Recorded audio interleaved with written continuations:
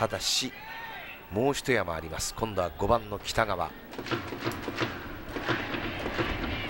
今日はヒットヒットフォアボールサードゴロ。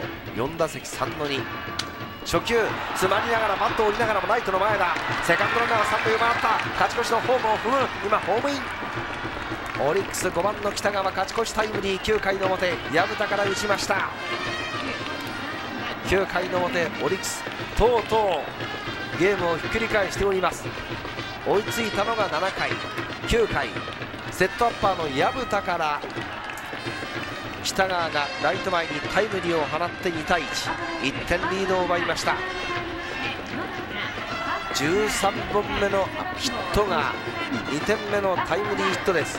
大喜びの北川選手。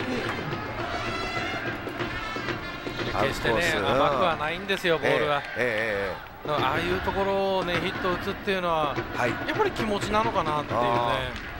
ところありますよね、ね、負けられんというね、はい、今、低めのストレートでねアウトコースね、はい、いっぱいいっぱいの投球だったんですが